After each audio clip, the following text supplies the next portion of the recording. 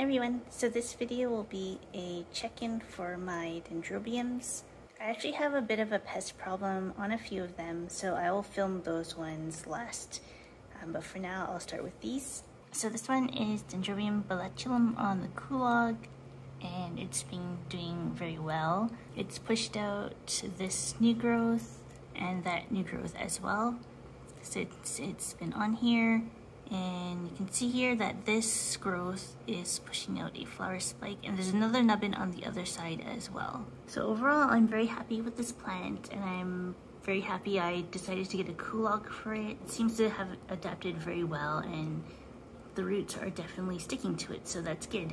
So this is Dendrobium christyanum and growth on it has been pretty stagnant for me, but it's pushed out that one fairly recently, so that's good no signs of flowers or anything like that. This one is Dendrobium draconis, and like the Christyanum, it's been pretty stagnant. I actually don't think it's pushed out any new growth this year. On the plus side, I just noticed that it's starting to push out a flower spike, so that'll be exciting to see. This one is Dendrobium x usitae, and it's been in pretty active growth this year.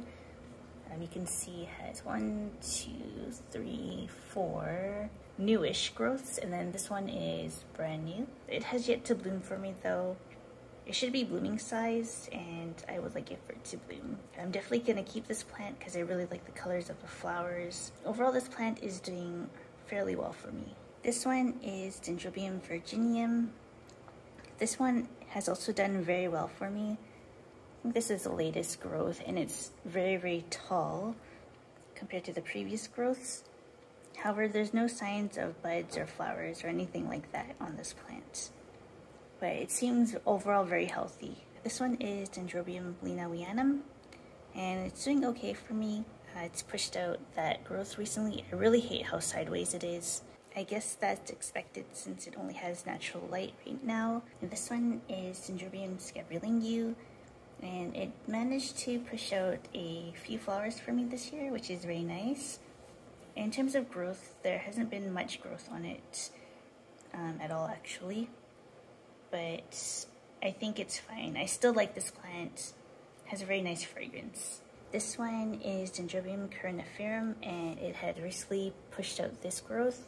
It's a little stubby, and I hate how crooked it is, but the growth itself seems healthy, and the leaves look pretty good. So to recap, earlier this year I had pushed this outside because I wanted to get really cold temperatures, hoping to get it to spike for me. Lo and behold, it pushed out this spike this summer. The spike itself didn't mature, but it did push it out and it was fresh at one point. So I'm not sure if, if that was because I put it outside when it was fairly cold or that it's because I moved into my new place, which is fairly warm.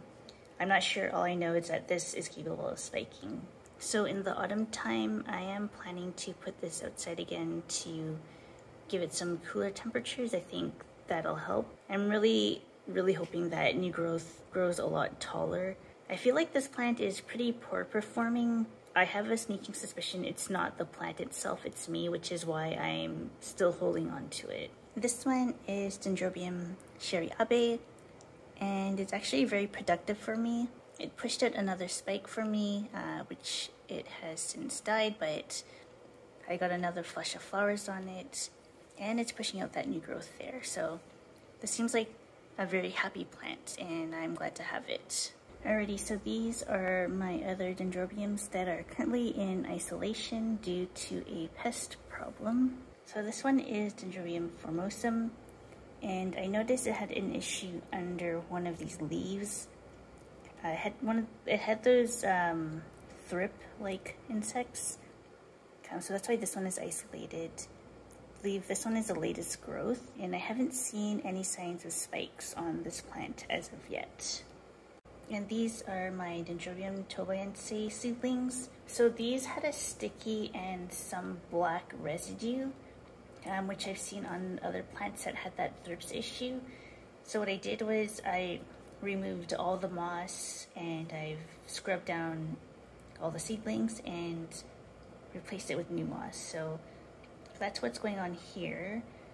I unfortunately lost a few leaves on all the growths, but I think they will be fine.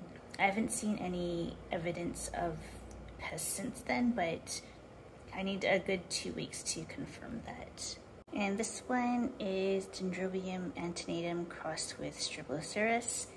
And this tends to in intermittently get that thrips issue. So if I go back several weeks, it had a problem. So it isolated it.